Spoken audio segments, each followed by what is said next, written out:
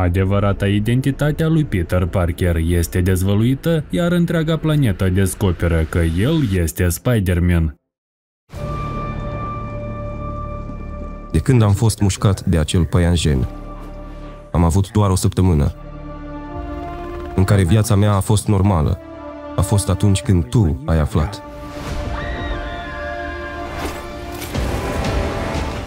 Incapabil să facă față consecințelor acestui fapt, Peter apelează la ajutorul doctorului Strange, care pune accidental în pericol întregul univers. Înainte de a fi învins de Peter Parker în Spider-Man departe de casă, Mysterio dezvăluie adevărata identitatea supereroului, provocând un adevărat haos în viața acestuia. MJ, iubita sa, se plimba pe străzile din New York când s-a aflat vestea, iar o mulțime de reporteri s-au apropiat pentru a-i lua un interviu. În acel moment, moment apare Spider-Man și o salvează pe fată din acea situație. După ce a fost văzut prin tot orașul, el își duce prietena în siguranță acasă cu ajutorul pânzii sale sintetice. Cuplul intră pe fereastra dormitorului, iar la scurt timp May și Happy deschid ușa. Bărbatul le spune că s-au despărțit și în timp ce Happy suferea pe la colțuri, Peter îi dezvălui mătușii sale, ceea ce știe acum întreaga lume, că el este Spider-Man. În acel moment, mai multe elicoptere se apropie de clădire, iar chipul Capul lui apare peste tot la știri. Populația este indignată pentru că ei credeau că Mysterio era un supererou bun și totuși Spider-Man îl eliminase. Acum Peter este investigat și se emite un mandat de arestare pe numele său. Pentru a înrăutăți situația, May, MJ și Ned, cel mai bun prieten al său, sunt acuzați ca fiind complici și trebuie să răspundă în libertate. Matt Murdock, avocatul său, dezvăluie că poliția nu are suficiente dovezi pentru a continua acuzațiile. Cu toate acestea, băiatul va trebui totuși să se confrunte cu opinia publică, care nu este deloc în favoarea lui. În timp ce discută, cineva aruncă o cărămidă prin fereastră, iar Măt reușește să o rețină. Peter este impresionat de abilitățile avocatului său și în curând observă biletul care se afla pe cărămidă, care declara sprijinul pentru Misterio. Aparent ar fi fost imposibil să convingă oamenii că acest om de fapt era un mare răufăcător. După acest atac, Peter și May își dau seama că trebuie să se mute mute într-un loc sigur și decid să se mute la Happy până când lucrurile se vor liniști. A doua zi, Peter și MJ se pregătesc să înfrunte prima zi din ultimul an de liceu. O mulțime se adună în jurul școlii. Unii s-au dus să-și declare sprijinul pentru Spider-Man, iar alții erau acolo pentru a-l intimida. Când în sfârșit reușește să intre în clădire, băiatul este frustrat să realizeze că și colegii și profesorii au început să-l trateze ca pe o celebritate. În acest moment, el își dă seama că nu va mai fi niciodată tratat ca un tip obișnuit. Mai târziu, Peter și MJ se întâlnesc pe terasă, care părea să fie singurul loc în care puteau fi singuri fără a fi filmați. În timp ce discută, apare Ned, iar trioul începe să discute despre planurile lor pentru facultate. Toată lumea plănuia să studieze la MIT, dar MJ se temea. Fata preferă să nu-și pună prea multe așteptări pentru a nu se frustra. În timpul săptămânii, sosesc câteva scrisori de la alte universități din Boston la care Peter își trimisese CV-ul. Cu toate acestea, băiatul nu este acceptat la niciuna dintre ele,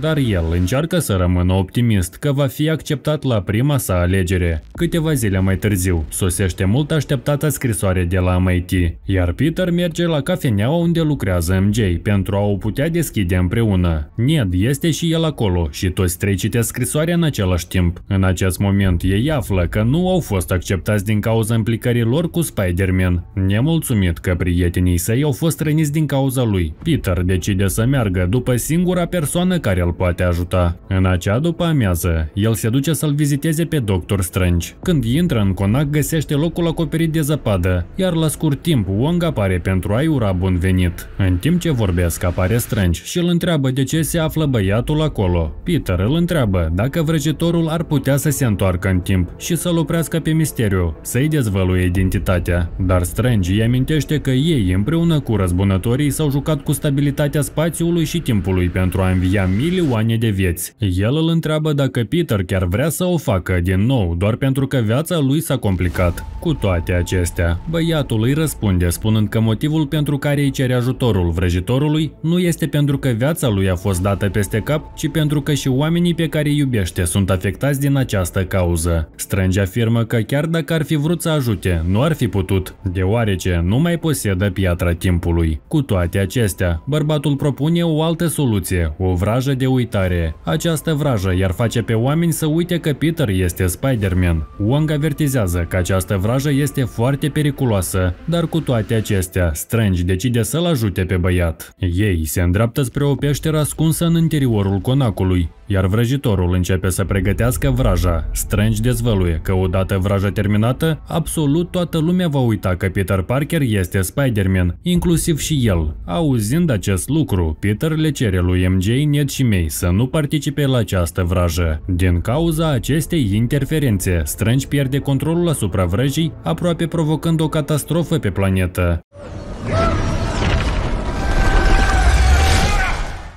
După ce află că vraja nu a funcționat și este dat afară din conac, Peter se duce după vicecancelara MIT, care se îndreaptă spre aeroport pentru a încerca să obțină o a doua șansă pentru prietenii săi. Când reușește în cele din urmă să o găsească, simțul său de păianjen îl informează că ceva rău este pe cale să se întâmple. Dintr-o dată, zeci de oameni își abandonează mașinile și încep să alerge pe străzi. Tentacule metalice apar sub asfalt și distrug vehiculele. La scurt timp după aceea, o Octavius, alias Dr. Octopus, apare și aruncă mai multe mașini în direcția lui Peter. Bărbatul îl prinde pe băiat și îl aruncă departe. Peter își dezlănțuie picioarele de metal pentru a se lupta cu acest răufăcător nou. Deși nu știe cine este acest tip, Octavius pare să-l cunoască foarte bine și din anumite motive vrea să se răzbune pe băiat. În timp ce încearcă să se ferească de atacurile inamicului său, Peter trebuie să o salveze pe vicecancelară, a cărei mașină este pe punctul de a se răsturna pe șinele de tren. Cu toate acestea, înainte ca băiatul să o poată scoate pe femeie din vehicul,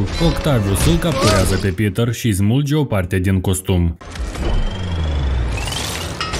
Deoarece uniforma este compusă din nanotehnologie, materialul se leagă de tentaculele doctorului și îi permite lui Peter să preia controlul. În timp ce Octavius îi smulge masca lui Spider-Man, își dă seama că acesta nu este Peter Parker pe care îl căuta. Băiatul folosește unul dintre tentaculele bărbatului pentru a repune pe drum mașina vicecancelarei. Femeia îi mulțumește și spune că va cere comisiei să reevalueze admiterea lui Peter și a prietenilor săi la MIT. Acum că a reușit să-l captureze pe Octavius, preluând controlul tentaculilor acestuia, Peter încearcă să afle cine este acel individ și de ce încearcă să-l ucidă. Tocmai atunci apare spiridușul verde și încearcă să-l atace. Cu toate acestea, băiatul este salvat de strângi care folosește un portal pentru a-i duce pe el și pe Octavius în peștera sa. Acolo, răufăcătorii sunt ținuți într-o închisoare specială. Doctorul explică faptul că vraja pe care Peter a modificat-o a început să atragă în acea realitate oameni din toate universurile.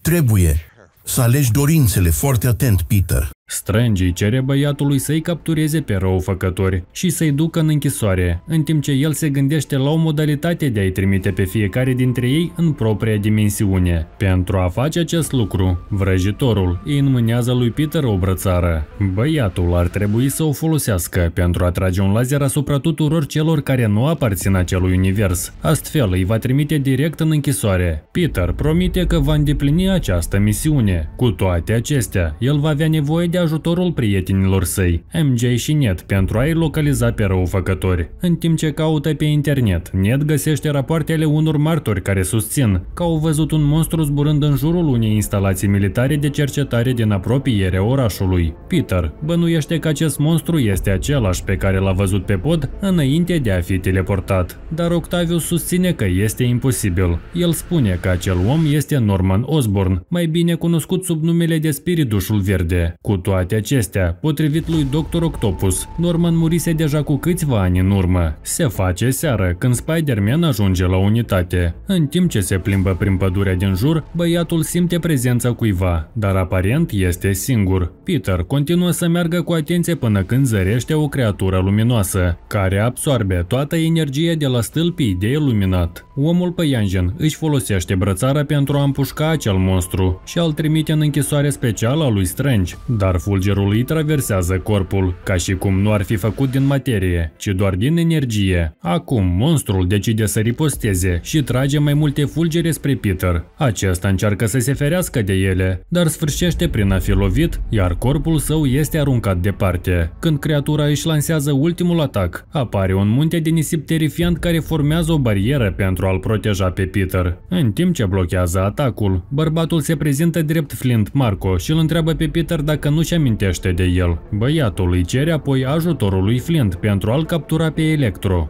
Omul de nisip formează o tornadă în jurul răufăcătorului, iar Peter își folosește pânza pentru a rupe cablurile de alimentare și a opri creatura să se încarce. În acest fel, Electro este slăbit și reușește să-și recupereze corpul uman. Omul păianjen îi explică faptul că au fost trimiși într-un alt univers, iar Max îi spune că a simțit cu adevărat că energia din acel loc era diferită. Dar Peter întrerupe conversația și îl trimite pe Max la închisoare. Flint devine suspicios, crezând că bărbatul a fost ucis. Încearcă apoi să-l atace pe Peter. Cu toate acestea, băiatul reușește să-l trimită și pe el în temniță. În timp ce se afla în închisoare, Max îl întâlnește pe doctorul Cart Connors. Reptila uriașă era de fapt un om de știință strălucit, care și-a transformat în mod deliberat propriul corp într-o șopârlă, pentru a obține aceeași capacitate de regenerare ca și animalul. În dimineața următoare, Peter primește un telefon de la mătușa mei, care îl informează că unul dintre tipii pe care îl căuta a apărut la locul de muncă al ei.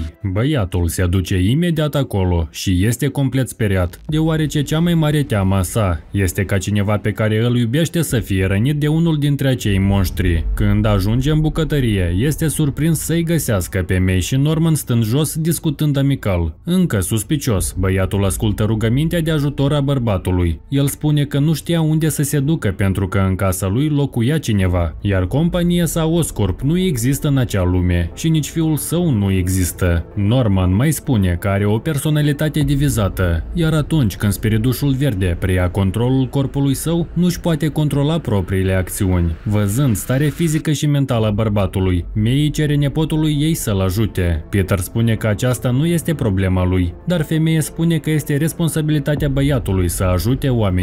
Cu toate acestea, Peter crede în continuare că cel mai bun lucru pe care îl poate face pentru acei băieți este să-i trimită înapoi de unde au venit. May decide atunci să-i ducă la conacul lui Strange. La intrarea în temniță, Norman este surprins să-l găsească pe Octavius, care este vechea sa cunoștință. În acest moment, Octavius întreabă ce s-a întâmplat cu Norman, din moment ce era deja mort. Flint întrerupe conversația spunând că și Octavius ar trebui să fie mort, deoarece amândoi au fost eliminați de Spider-Man. În acel moment apare Strange și îl arestează pe Norman. El aduce cu el o mașinărie care poate inversa vraja și îi poate trimite pe fiecare dintre răufăcători înapoi în universul lor propriu. Auzind acest lucru, răufăcătorii devin disperați știind că dacă se vor întoarce în universurile lor originale, își vor găsi moartea. Peter încearcă să-l convingă pe Strange să nu-i trimită încă înapoi, dar Strange afirmă că aceasta este destinul lor și că intervenind în el ar putea aduce prejudicii multiversului. Vrăjitorul începe să inverseze vraja, dar Peter fură cutia cu pânza sa și îl prinde pe Strange în închisoare. Cu toate acestea, Strange reușește să scape cu ușurință și se duce după Spider-Man. El îi cere politicos băiatului să returneze cutia, dar Peter refuză și încearcă să fugă. În acest moment, Strange își dă seama că va trebui să ia obiectul cu forța.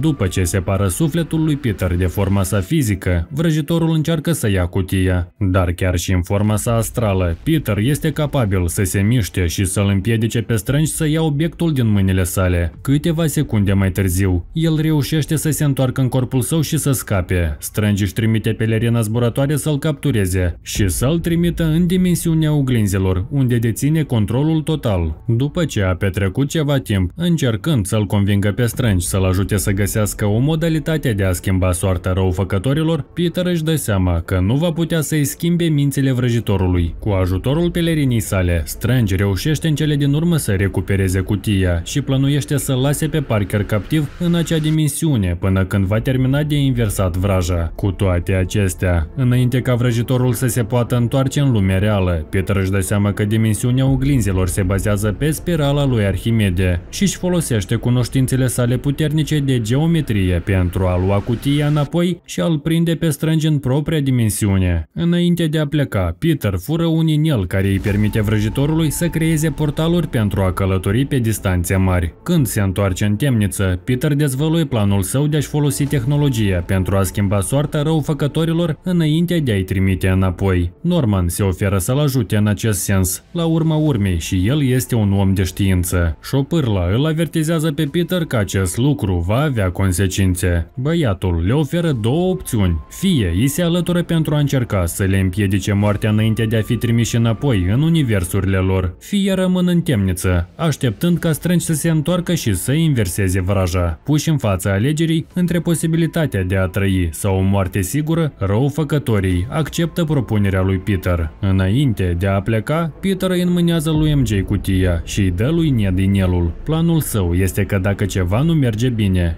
MJ va apăsa butonul, trimițându-i pe toți răufăcătorii înapoi în universurile lor. MJ acceptă responsabilitatea, dar declară că dacă pierde contactul cu Peter și nu primește vești de la el, va apăsa și ea butonul. După întâlnire, Peter și răufăcătorii merg la casa lui Happy împreună cu May. Băiatul le arată un dispozitiv numit fabricator, capabil să analizeze, să proiecteze și să construiască aproape orice, în timp ce Peter și Norman încearcă să găsească o soluție. Max se uită la oraș și se gândește la posibilitățile infinite pe care le-ar putea trăi în acea lume plină de energie.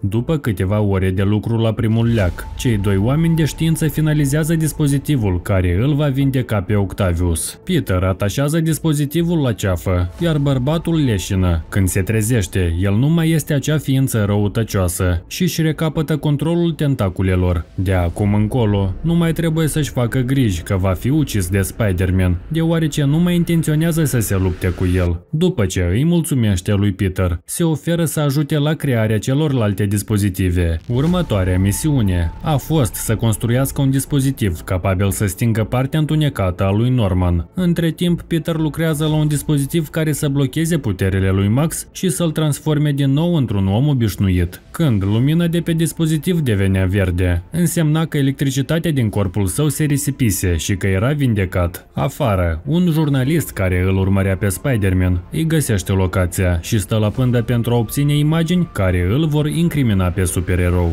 Dintr-o dată, simțul păianjenului se activează, iar Peter își dă seama că ceva nu este în regulă. În acel moment, el își aruncă pânza și îi prinde mâinile lui Norman. Spiridușul verde pusese stăpânire pe corpul lui Norman, iar May se grăbește să aducă dispozitivul care îl poate vindeca. Peter încearcă să-l convingă pe Norman să continue planul, dar când își dă seama că nu va putea să-l oprească, îi cere mătușii sale să fugă. Max decide să facă echipă cu spiridușul și smulge dispozitivul înainte ca vindecarea să fie finalizată. El distruge apoi fabricatorul și fură miezul de energie. Întrucât Octavius este încă alături de Peter, Max îl atacă, iar reporterii reușesc să capteze imaginile. În timp ce Peter se luptă cu spiridușul verde, elicopterele se apropie de clădire, iar May scapă pe scări. Când Peter reușește să scape din clădire, apare șopârla și îl aruncă înapoi în brațele spiridușului. Cu forța loviturilor, podeaua este distrusă, iar ei cad chiar în fața lui May. Femeia îi injectează lichidul pe care l-au făcut în încercarea de a-l elimina pe spiridușul verde și de a face în așa fel încât doar Norman să aibă controlul asupra corpului său. Dar leacul nu funcționează. Peter îi cere mătușii sale să fugă, dar ea nu-l poate lăsa singur să moară, așa că ia un obiect pentru a-l ataca pe bărbat. În acel moment, placa lui spiridușul verde invadează clădirea și o doboară pe May. Înainte de a fugi, spiridușul aruncă mai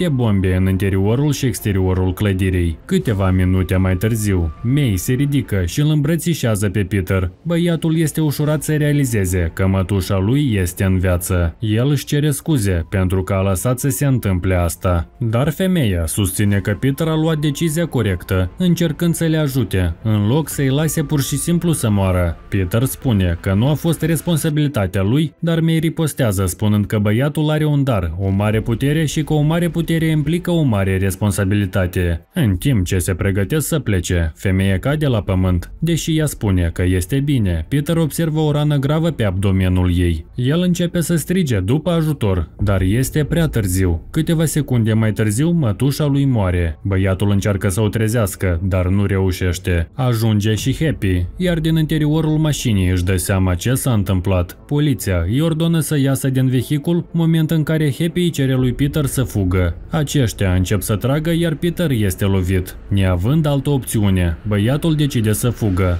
La casa lui Ned, duoul încearcă să comunice cu Peter, dar acesta nu răspunde la telefon. MJ este pe cale să apese butonul și să-i trimită pe răufăcători înapoi în lumile lor. Cu toate acestea, Ned observă ceva diferit. El descoperă că inelul pe care Peter îl furase de la strângi și îl dăduse poate arăta unde se află băiatul și poate deschide un portal acolo. Ned își flutură mâinile și spune că dorește să vorbească cu Peter Parker. În acel moment, portalul se deschide și îl pot vedea pe acesta în costumul lui Spider-Man. Îl cheamă pe Peter și îl roagă să treacă prin portal, dar când băiatul își scoate masca, cei doi prieteni își dau seama că acesta este Peter Parker din alt univers și decid să-l numească Peter numărul 2. Ned deschide un nou portal în încercarea de a-l găsi pe celălalt Peter Parker, iar misiunea sa are succes. Apare un al doilea Peter Parker, dar acesta aparține unui al treilea univers, așa că devine Peter numărul 3. După ce intră în casă, Peter numărul 3 dezvăluie că de când a ajuns în acea lume, cu o zi înainte a încercat să-l găsească pe omul păianjen din acel univers, deoarece simte că are nevoie de ajutorul său. Problema este că MJ și Ned habar nu au unde se află băiatul. Astfel cei doi întreabă dacă există vreun loc unde băiatul obișnuiește să se răcorească. MJ are bănuială și reușește să-l găsească pe Peter. Ned și fata îl îmbrățișează pe prietenul lor, iar MJ îi face cunoștință cu Spider-Manii din alte universuri. Când se întâlnesc, Peter este hotărât să îi trimită pe toți înapoi acasă, dar se răzgândește când află că ceilalți doi au trecut prin același lucru ca și el. Amândoi au asistat la moartea cuiva drag, așa că decid să facă echipă pentru a găsi un leac pentru toți răufăcătorii, înainte de a-i trimite înapoi. După ce termină medicamentele, trioul de supereroi concepe un plan pentru a-i atrage pe toți răufăcătorii într-un singur loc și a-i vindeca pe toți odată. Apoi, tot ce trebuie să facă este să apese pe buton și să-i trimită pe toți acasă. Peter numărul 1 se duce apoi la statuia libertății și face o transmisiune în direct care este transmisă la televizor pentru ca răufăcătorii să știe unde să-l găsească. Max sau mai degrabă Electro este primul care ajunge. El se află acolo pentru a distruge cutia și pentru a-l împiedica pe Peter să-l trimită înapoi în lumea lui. Cu toate acestea, oamenii păianjeni reușesc să-l ocolească. Peter, numărul 1, îi livrează cutia lui MJ printr-un portal făcut de Ned. Problema este că acum băiatul nu știe cum să o închidă. La scurt timp după aceea apare șopârla și omul de nisip și urmează o adevărată bătălie. Fiecare dintre răufăcători are propriile motive pentru a dori cutia și se îndreaptă spre supereroi. În acest moment, ei își dau seama că vor avea mai multe șanse de reușită dacă toți trei atacă o singură țintă. Astfel îl aleg pe omul de nisip să fie primul care să primească leacul. Peter, numărul 3, este responsabil pentru atragerea atenției lui Flint. Când acesta este pe punctul de a fi înghițit de nisipurile mișcătoare, Peter, numărul 1, îi aruncă dispozitivul pe care l-au construit. Acesta eliberează o lumină, capabilă să-l facă pe Flint din nou om. Următoarea provocare este să-l învingă pe Electro. Răufăcătorul este extrem de puternic, deoarece folosește reactorul pe care l-a furat din casa lui Happy ca sursă pentru a-și reîncărca energia, chiar dacă cei trei supereroi sunt uniți împotriva lui. Pare imposibil să-l învingă. Pentru a înrăutăți situația, uriașul jopârlă își dă seama că cutia care l-ar duce înapoi acasă este cu MJ și fuge spre portal. Reptila reușește să treacă prin el, iar Peter numărul 1 nu se duce după el pentru a împiedica animalul să-și rănească prietenii. Între timp, MJ și Ned aleargă spre statuie. Ei iau drogul făcut pentru a înversa transformarea doctorului Cart și la aruncă lui Peter numărul 1. Spărgând sticla, se eliberează un fum verde, iar Cart revine la forma sa umană. Peter numărul 2 și 3 sunt la un pas de a fi distruși de Electro, dar Dr. Octopus sosește în ajutor. Cu tentaculele sale, el smulge reactorul din pieptul lui Max și injectează substanța care îl poate vindeca. Ned încearcă din nou să deschidă un portal pentru a putea scăpa cu cutia, dar de data aceasta Strange folosește portalul pentru a ieși din dimensiunea oglinzilor și recuperează cutia. Vrăjitorul este furios și îl caută pe Peter, dar Ned îl informează că planul băiatului funcționează. Cu ajutorul prietenilor săi, Peter a reușit să-i vindece aproape pe toți răufăcătorii, cu excepția spiridușului verde, care apare în curând pentru a întrerupe petrecerea. Spiridușul fură cutia lui Strange și încearcă să scape, dar când vrăjitorul reușește să o recupereze, descoperă că spiridușul a plantat o bombă înăuntru. În urma exploziei, MJ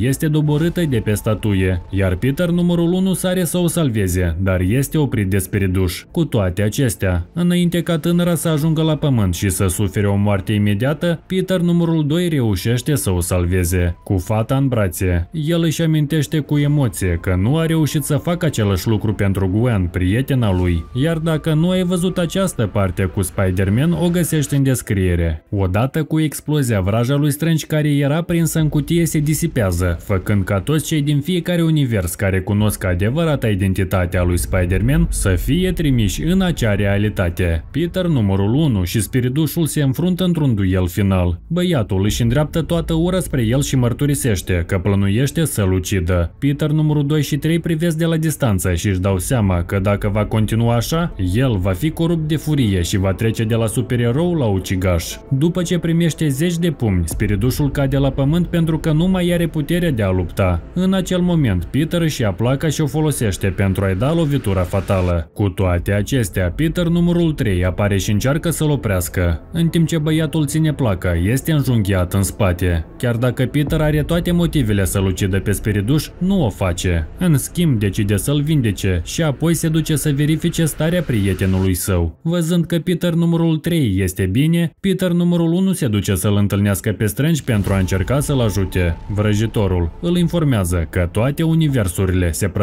din cauza lui, așa că băiatul îi cere lui Strange să facă întreaga lume să uite cine este Peter Parker. Acest lucru înseamnă că nici măcar oamenii care l-au iubit nu vor mai avea amintiri despre el. Va fi ca și cum Peter nu ar fi existat niciodată. Cu toate acestea, el decide să accepte această povară pentru a salva universul. Dar înainte de a lansa vraja, vrăjitorul îi acordă câteva minute pentru a-și lua rămas bun. Peter numărul 1 aleargă să-și ia rămas bun de la noi săi prieteni și le mulțumește pentru ajutor. Apoi se duce după Ned și MJ.